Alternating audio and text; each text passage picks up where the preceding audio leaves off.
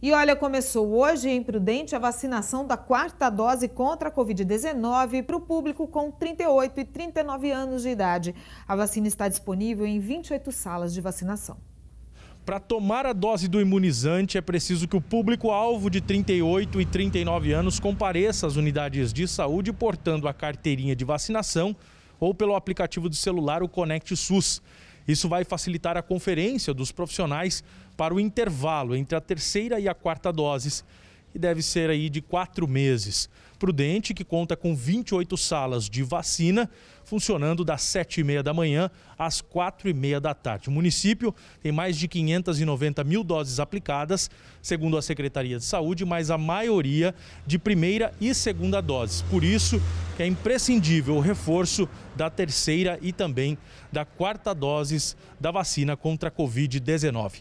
Reforçando então o horário de atendimento das 7h30 da manhã às 4h30 da tarde nas 28 salas de vacina.